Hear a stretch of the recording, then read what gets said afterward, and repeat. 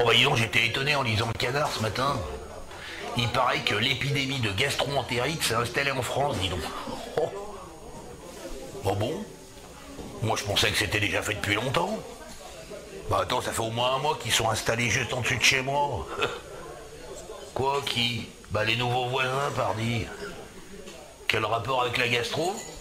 Eh, Ça fait plus d'un mois qu'ils me font chier. Tiens, euh, dis donc, euh, tu me remettrais une intraveineuse, t'es gentil.